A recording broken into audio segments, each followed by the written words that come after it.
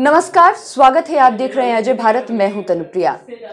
नए साल के मौके पर कई योजनाएँ जो भारत सरकार द्वारा, यानी कि केंद्र सरकार द्वारा चलाई गई वो भी खत्म हो जाएँगी। कह सकते हैं कि इस वीडियो के माध्यम से कई लोगों को इसके बारे में भी जानकारी मिलेगी कि क्या क्या जो परिवर्तन होने वाले हैं, क्या कुछ के दाम बढ़ने वाले हैं और क्या कुछ नया होने वाला है नए साल में।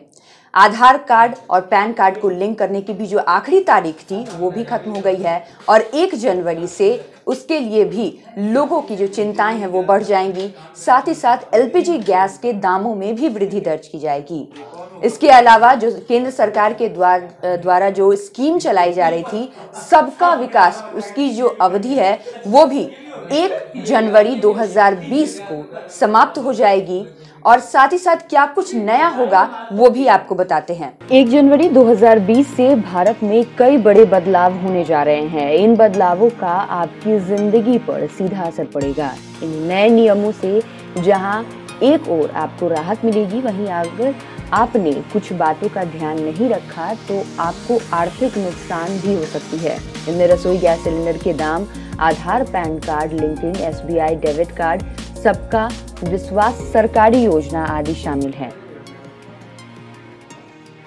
अगर आपने 31 दिसंबर तक अपने पैन कार्ड को आधार कार्ड से लिंक नहीं किया है तो आपको बड़ा नुकसान हो सकता है। अगर विभाग के आदेश के अनुसार 1 जनवरी के बाद से भी पैन कार्ड, आधार कार्ड से लिंक नहीं होंगे, वो रद्द हो जाएँगे। ऐसे पैन कार्ड जो आधार से लिंक नहीं होंगे, उनका इस्तेमाल किसी प्रकार भी लेन देन के लिए नहीं किया जाएगा। वे अमान्य हो जाएँगे, हालाँकि सरकार ने अभी यह स्पष्ट नहीं किया है कि एक बार जो पैन कार्ड निष्क्रिय कर दिए जाएँगे तो समय सीमा के बाद भी रीएक्टिवेट किया जा सकेगा या फिर नहीं। बता दूँ कि 31 मार्च को जारी की गई अधिसूचना के अनुसार वित्त मंत्रालय ने साफ़ कहा था कि अगर किसी के पास पैन और आधार कार्ड दोनों हैं तो उन्हें जोड़ना अनिवार्य है। और इस वर्ष की शुरुआत में हाई कोर्ट ने भी पैन कार्ड और आधार लिंक के को अनिवार्य बताते हुए आयकर अधिनियम की धारा एक को बरकरार रखा था। साथ ही साथ एक जनवरी 2020 से रसोई गैस सिलेंडर की कीमत में बदलाव हो जाएगा। इससे पहले लगातार चार महीने तक रसोई गैस के दाम में इजाफा हुआ था, इसलिए हो सकता है कि जनवरी में फिर आम आदमी को झटका लगेगा। गैस वितरण कंपनी प्रत्येक महीने की एक तारीख को कीमतों की समीक्षा करेगी, जिसके बाद निर्णय लिया जाएगा कितना कीमत तय किया जाएगा और क्या कुछ बदलाव किए जा सकते हैं।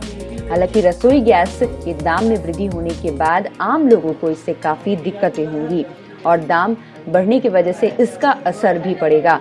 31 दिसंबर के बाद से कई एटीएम कार्ड और डेबिट कार्ड भी बंद हो जाएँगे। ऐसे में ग्राहकों को दिक्कतों का सामना करना पड़ सकता है। इस संदर्भ में देश के सबसे बड़े bank, State Bank of India ने अपने खाता धारकों के लिए अलर्ट भी जारी किया था। ऐसे में कार्ड को बदलवाने के लिए ग्राहक तुरंत बैंक में संपर्क करें क्योंकि 1 जनवरी 2020 से उनके कार्ड से लेन देन पूरी तरह से बंद हो जाएगा। हालाँकि एसबीआई ने कहा है कि वो फ़िलहाल चल रहे अपने मैग्नेटिक स्ट्राइप डेबिट कार्ड का प्रयोग बंद करने जा रहे हैं। एक जनवरी 2020 से केवल ईएमबी चिप और पिन वाले कार्ड ही प्रयोग किए जा सकेंगे। भारतीय रिज़र्व बैंक के आदेश से, से ऐसा करना ज़रूरी है।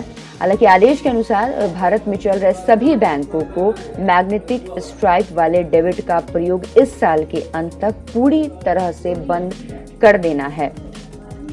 साथ ही साथ, नए साल में भी एक योजना भी बंद हो जाएगी। वैसे तो भारत सरकार, कई सरकारी योजनाएँ मौजूद हैं, जिसका फ़ायदा आम लोग उठा रहे हैं। साथ ही साथ आम लोगों को इससे काफ़ी फ़ायदा भी हो रहा है। लेकिन इन सब में से एक सरकारी योजना अगले साल से यानी कि 1 जनवरी 2020 से बंद होने जा रही है।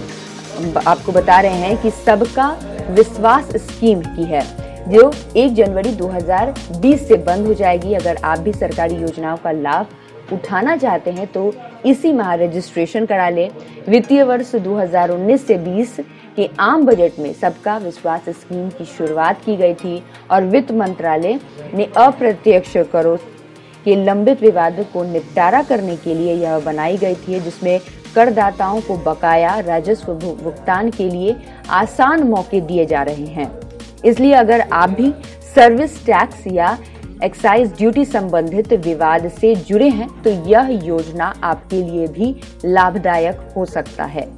तो 1 जनवरी 2020 तक कई इस सारे जो पहलू हैं, उस पर गौर करने की ज़रूरत है। आधार कार्ड और पैन कार्ड को लिंक करवाने की आखिरी जो तारीख थी, वो 31 दिसंबर तक थी। हालाँकि जो लोग नहीं इसको करवाए हैं, वो जल्द से जल्द इसे करवाने की कोशिश करें। इससे आम लोगों को काफ़ी दिक्कतें होंगी। साथ ही साथ SBI डेबिट कार्ड में भी जो चेंजेस आए हैं, वो आप अपने जो नज़दीकी शाखा है, एसबीआई बैंक के, वहाँ पर जाकर उसे ठीक करवा सकते हैं।